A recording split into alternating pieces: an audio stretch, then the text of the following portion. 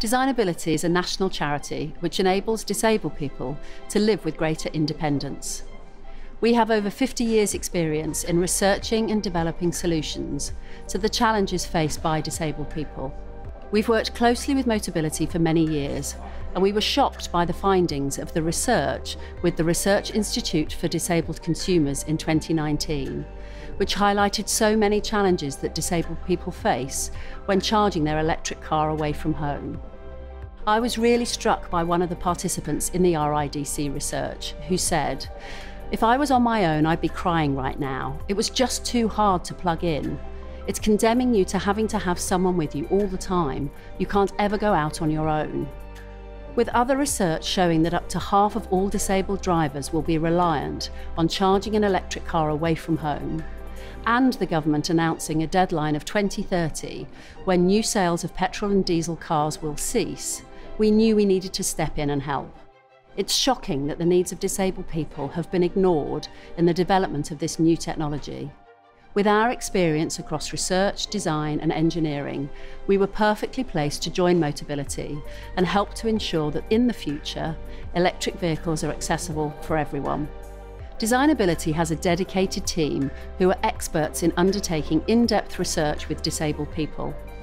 So we've been working with around 800 disabled people on this project to understand the wide range of challenges they face with charging an electric car away from home.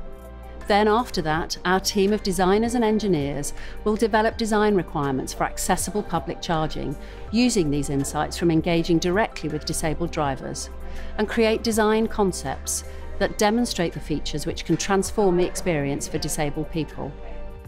These will demonstrate to everyone involved local councils, charge point manufacturers, and the government what good inclusive design looks like.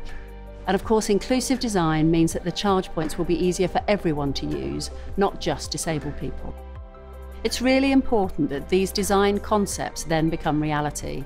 So we are working closely with Motability and the British Standards Institute to use these designs to create a set of accessibility standards so that charge points are accessible to all and in turn working with government, in particular the Office for Zero Emissions Vehicles and many electric car industry businesses to adopt these standards. We want to make sure that disabled people are able to use this new technology and not be left behind. Everything we do at Designability is about enabling disabled people to live with greater independence. Up to this point, very little consideration had been given to their needs in terms of electric vehicle charging, whilst the sector has forged ahead. This project is vital to future infrastructure. It's imperative to set the standards now, with disabled people at the forefront of our thinking, utilising the in depth knowledge we've gained from our research.